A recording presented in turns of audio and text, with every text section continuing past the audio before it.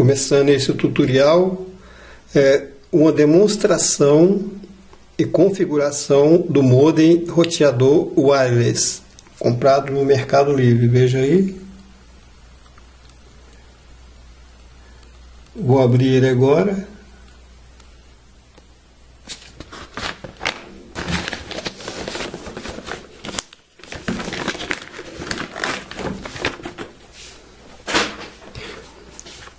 O modelo do modem. Veja bem de pertinho aí, TDW 895.1, ou seja, 8951ND. Repetindo, ND W8951ND. Ele é uma velocidade de 150 megabytes, megabits, né? Ele é modem e roteador wireless, ou seja, internet sem fio. Atinge até 24 megabytes. Ele tem ADSL mais 2, ADSL 2. Presta atenção aí.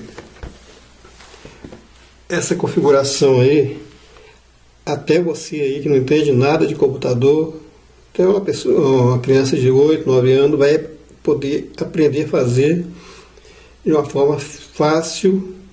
Eu não sabia nem sequer ligar um computador. Veja o tanto de tutoriais que eu faço aí.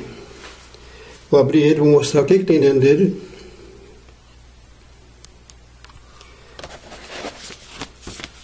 Dentro tem manual de instalação, guia de instalação.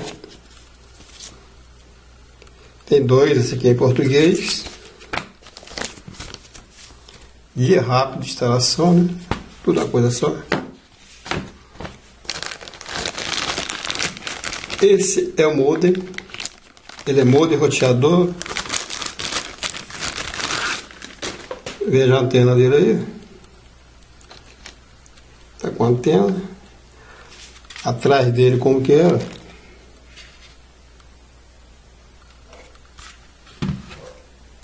CD tá até de quebrar, que não vale nada, né? Não, se usa isso aqui. Cabo RJ45. Esses dois cabos. Filtro de linha. É importante isso aqui. E a fonte. Fonte de energia. Vou explicar a vocês como é que faz as ligações, tá? Tudo isso aí vem junto com ele.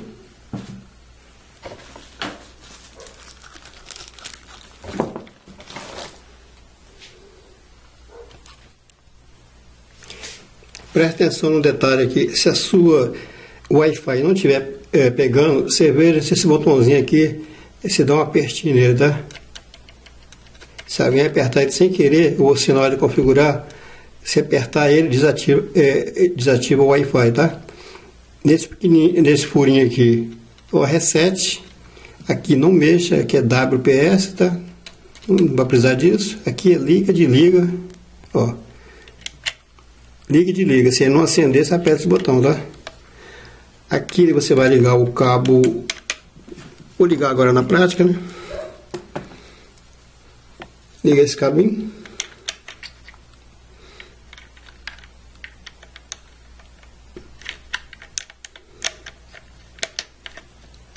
Deu estalo, está bom. O outro lado você liga aqui, ó. Presta atenção, não erra não, tá? Você vai ligar o desenho do computador. Aqui, ó. Aqui você liga seu telefone, tá?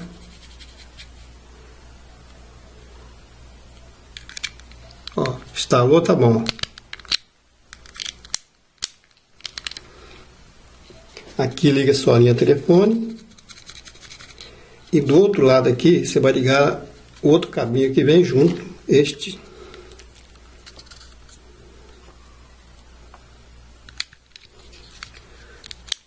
Do outro lado, onde só tem uma saída, você vai ligar esse outro cabo que vem junto. E essa outra parte você vai ligar na sua parede aí, onde tem aquela saída de telefone, tá? E se por acaso você comprou outro, uma outra filtro, se aqui não tiver o desenho do computador, vai ter escrito ADSL, tá? O modem, se você olhar bem pertinho, vai ter escrito modem. O outro vai ter escrito fone com P. Certo? esse cabo aqui, ó, você vai ligar aqui. Qualquer uma das amarelas que chama LAN. O outro lado você liga no seu computador, tá? Ah, presta atenção aí. Existem algumas configurações aí, no caso, eu vou fazer mais baseado na Oi Felix, mas eu vou dar algum detalhe ali que você presta atenção se a sua internet não pegar, tá? logo no início, que eu vou entrar no computador, vou explicar direitinho. Agora vai entrar na configuração do, através do computador. Se você gostou desse tutorial aí, compartilha ele aí, clique em gostei e veja outros vídeos aí. No final vai ter link aí. Você pega, clica nele aí que tem outros tutoriais legal, tá legal? Agora vou entrar na configuração dele, é, no fundo dele Tá o endereço para você entrar, esse aí, ó. 192.168.1.1 senha admin, usuário admin minúsculo, tá? Tá no fundo dele. Agora vamos para o computador. Pessoal, é, agora faça desse jeito aí, que vez você faz, você faz toda a configuração do roteador, seu internet não pega. Eu estou com o Windows 8 aí, mas o Windows 7 é bem parecido. Você vai naquele cantinho ali, onde está o símbolo de internet. Você já ligou o modem aí, está aceso, tudo legal aí. Passou mais, de um minuto. Você clica com o mouse direito aqui, ó, símbolo de internet. Vai abrir central de rede, compartilhamento. Aqui você clica internet, internet, Aqui você vai em propriedades, nessa janelinha. Aqui você vai caçar, clica na setinha, é, protocolo TCP/IP versão 4. Vai aqui em propriedades. É importante, se não tiver marcado e obter o endereço IP automaticamente, você marque ali. E aqui também, o servidor do NSS. Se não tiver, você marca ali os dois, do jeito que está aí. Se tiver marcado aqui embaixo, outra coisa aqui, você pode marcar ali em cima, tá? Marcou? Deu ok? Ok? Ok? Pode fechar e vão abrir o navegador para você configurar ele.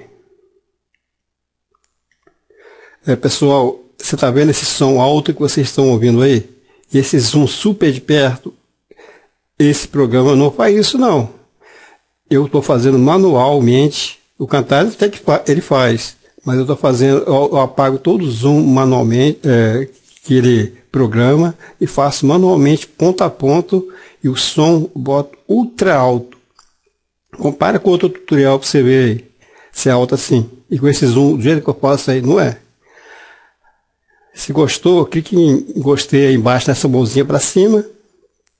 E inscreva no meu canal aí, vê outros vídeos aí. No final vai ter link, você clica neles, tá legal? Você viu no fundo do roteador, tem o endereço de entrada, né? Que é 192 192.168.1.1. Você vai estar entrando na configuração do roteador. Você deu Enter, tá? Entra essa janelinha. Letra minúscula, olha no teclado aí. Letra minúscula, admin. Usuário admin e senha admin. De Enter. Agora está dentro da configuração do roteador não é nenhum site, não é site, é na configuração dele. Você vai aqui nas configurações mais rápidas que tem, entendeu? Tem outras configurações mais demoradas ali. Você vai dessa mais rápida, aí Quick Start, aqui. Aí vai abrir a janela aqui, ó, Room Wizard. Você vai clicar ali, tá? Faça sempre devagar no, na sua esquerda vai abrir uma janelinha, você vai é, clicar em Nest, tá? Aqui, ó. Eu estou baseando esse vídeo é, no Brasil, tá? Mas se você é de outro país aí, bota o fuso horário do seu país aí, tá? Ficando aqui. Eu sei que muitos países aí, até nos Estados Unidos, é, Argentina, Buenos, é, Argentina, Paraguai, Uruguai, vê esse vídeo, então bota seu horário aí adequado aí, tá? Após pôr, clique em Nest.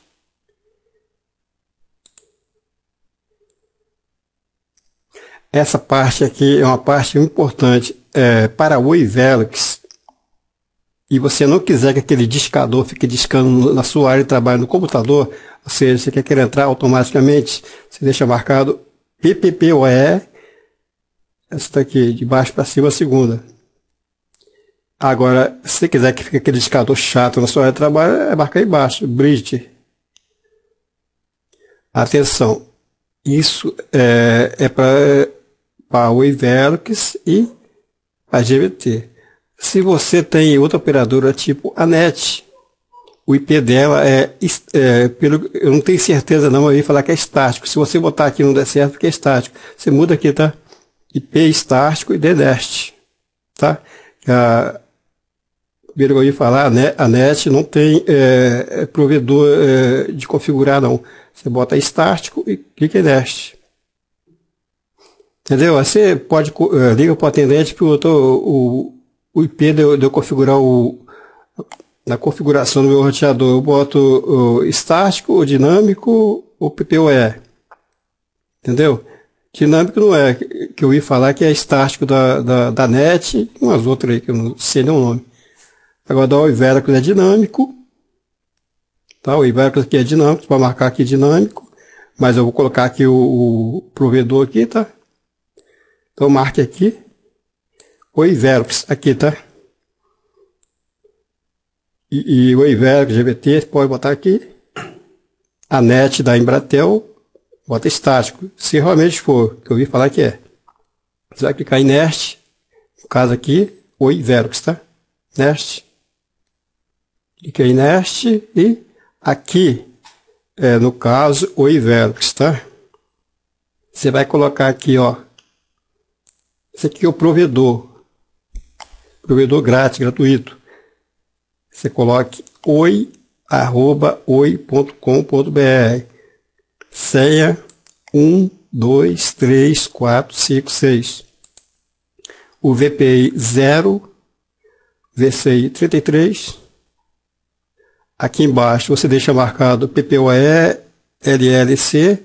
Agora, se você for de outro operador aí, eu acho que é da GBT aqui é 35. Você apaga um 3, aí coloca o 5 aí. Eu não tenho certeza não, tá? Só você buscar no Google aí. Eu vou colocar o 1.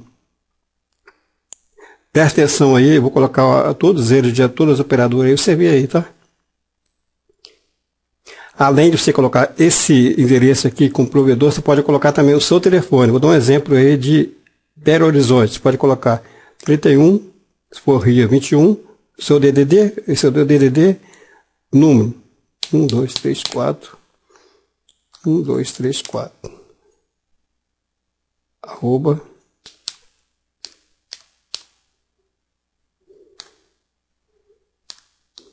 Entendeu? O seu número de telefone com DDD, arroba oio.com.br.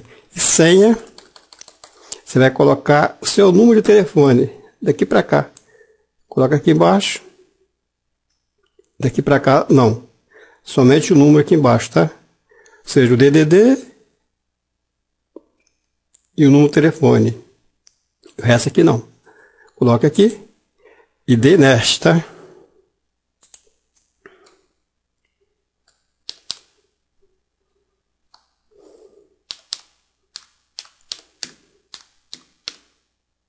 Pode colocar assim também, senha 1, 2, 3, 4, 5, 6. No caso aqui, o Ivero, que você vai pegar certinho, tá? Um detalhe aqui, se ficar, se assim que você pedir a Vero, se ficar uma turma de pessoas ligando para você, que você tem que ter provedor, desliga na cara dele, não gasta. Você vai colocar o dia que está aqui, sua internet vai entrar. Dessa opção, né, é o que fiz agora há pouco, a outra opção, tá? Pode colocar desse jeito aqui. Não gasta tecla, ir na sua casa, gasta nada. Clica aí, Nest.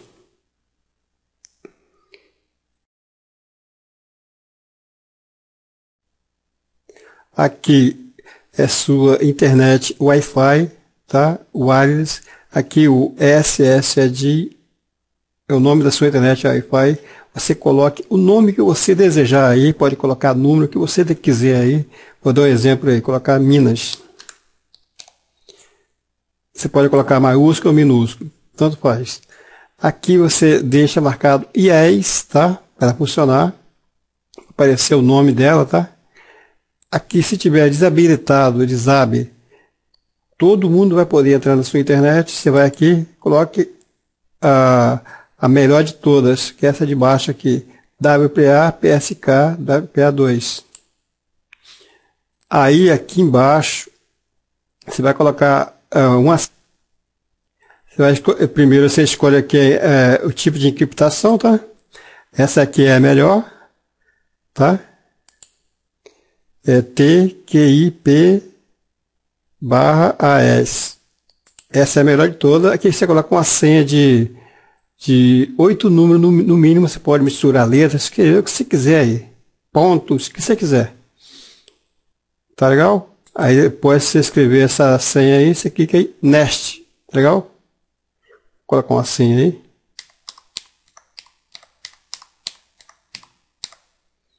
Aí você vai clicar em Nest, tá?